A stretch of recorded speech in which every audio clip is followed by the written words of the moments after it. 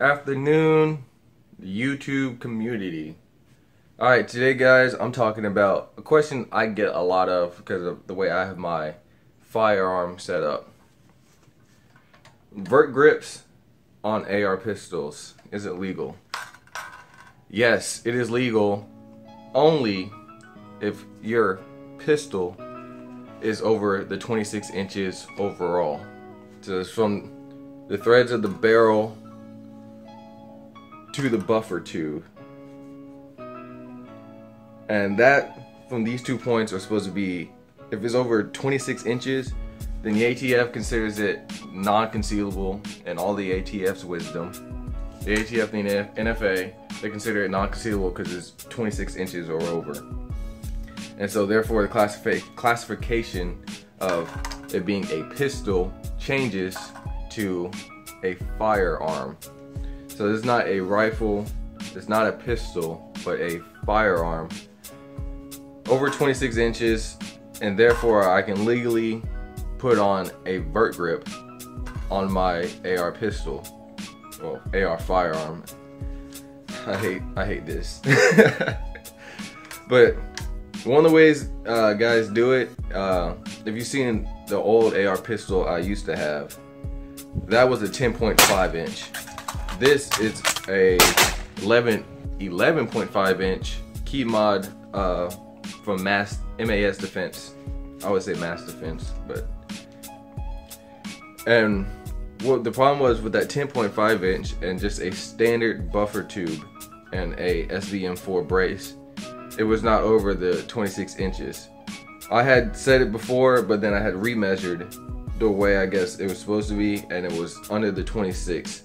So I had took the vert grip off, put on a hand stop, and then I bought this 11.5 inch barrel so that my legal length would be over the 26 inches. What other guys do, they'll get that, uh, yeah, I think it's the Vltor might be wrong, but if not, I'll correct myself. And it's the, no, actually the law folder, my bad. Law folder and allows your brace to fold. And what it does is extend, give you the little piece to extend it out, maybe like an, an inch and a half. So guys will do that with a 10.5 inch barrel to get their firearm over that 26 inch mark. Uh, what other people will uh, will do is that you know, if they have a 10.5 inch barrel, they'll get, let's say, uh, Surefire muzzle brake or a muzzle uh, flash suppressor. Put it on there and then they'll pin and weld it to give it that extra inch and a half, two inch, so that the rifle is over that 26 inch mark.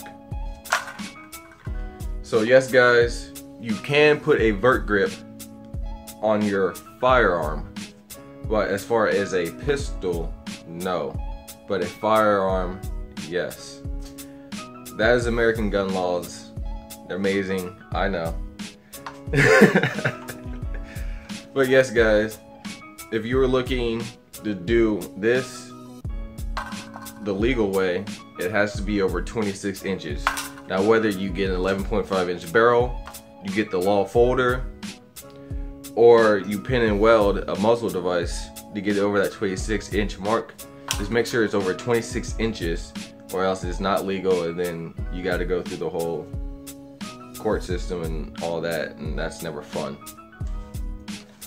So guys, for those who are gonna comment, because I know I'll always get those internet ninjas that think they know everything.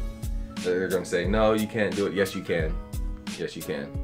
904s uh, Outdoors did a video on it with uh, more detailed than this. So I'll put his video link in the comment box below so you can check that out. But yes guys, this is legal and it's freaking awesome. I love it.